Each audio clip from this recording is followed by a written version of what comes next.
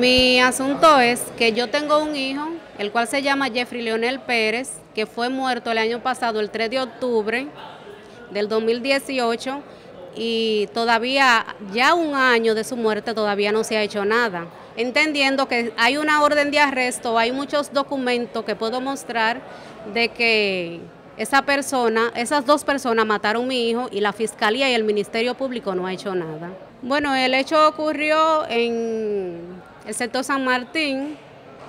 Dicen que las 17, no sé exactamente la ubicación porque nunca he frecuentado ese lugar y ni siquiera sé cómo llegar.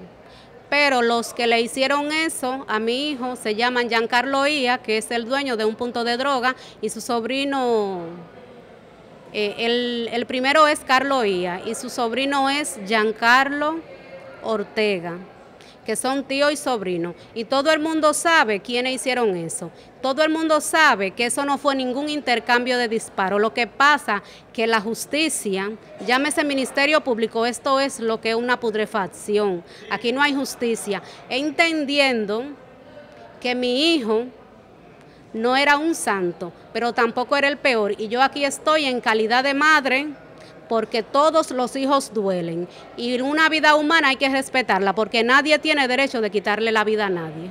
El anticipo de prueba se hizo en base a una persona que fue la única que tuvo el valor de decir en público quién mató a mi hijo y cómo se produjo, porque nadie quiere declarar porque todo el mundo le tiene miedo justicia porque nadie tiene derecho a quitarle la vida a nadie porque lo único que da la vida es Dios y Dios es que tiene derecho a decidir por la vida de cada ser humano. ¿Su nombre? Jenny María Hernández Brito. ¿Y el de su hijo? Jeffrey Leonel Pérez Hernández. Y quisiera decir algo por último. Eh, que tomen en cuenta que al menos yo no tengo enemigo.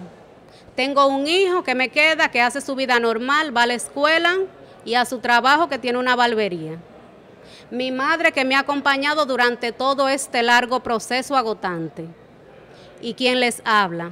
No tengo enemigos. Cualquier cosa que me pase, hago responsable a esa gente ya que me han tirado dos vehículos encima en la calle y han llegado amenazas de, de para que yo me desvincule de eso y por ende ya mañana él tiene causa y de antemano le digo que ya están diciendo que él va para afuera. ¿De qué forma? No lo sé. Porque si están diciendo que ver para afuera es porque ya se hizo un arreglo. Y no es posible que una persona que tenga tantos hechos delictivos, que tampoco es un santo, estén diciendo que va para afuera si todavía la audiencia ni siquiera se ha realizado, que la audiencia es mañana.